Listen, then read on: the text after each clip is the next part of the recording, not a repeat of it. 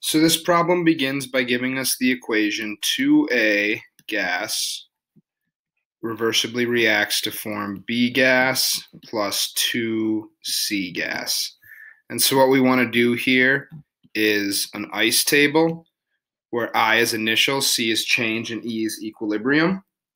And so our initial value here is 225 millimeters of mercury. Our change is minus 2x because of that uh, 2 in front of the A. And so our equilibrium is 225 minus 2x. We start out with 0 of each of these. We have x of B and 2x of C as the change. And so our equilibrium is the same.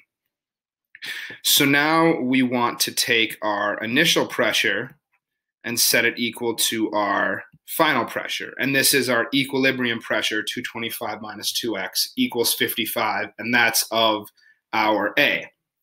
And when we do that, we get an X of 85 millimeters of mercury. However, we want to convert this to torr, so we divide by 760, and we get 0.1118 atmospheres. We want to convert it to atmospheres. And so this is the value of our x.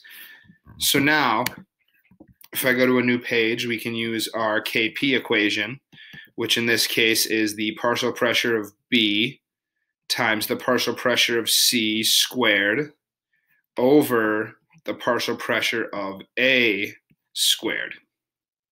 And so the partial pressure of B is equal to that x we just found, 0.1118. The partial pressure of C is two times that value squared. And then our partial pressure of A is our 55 millimeters of mercury that it tells us divided by 760 to convert into atmosphere, which gives us 0.0724. And we want to square that as well. And when we do this, we find out that our uh, KP is 1.07. And that's our final answer.